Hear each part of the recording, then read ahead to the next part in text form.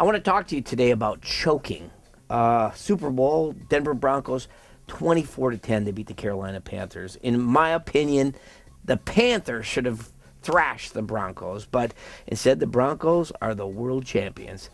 And so I want to talk to you about choking. Carolina choked.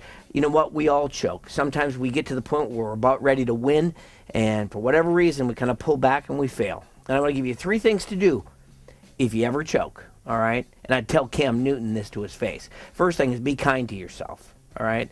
Because we all make mistakes. All have sinned and fall short of the glory of God. So when you choke, be kind to yourself. Two, keep the focus on you, not on others. Because you know what? If you do choke, sometimes you have the tendency of blaming other people. So be kind to yourself, keep the focus on yourself. And number three, look to the future. Because there's always another day. So, hey, if you choke, check out these three things. Be kind to yourself, keep the focus on you, and keep your eyes on the future.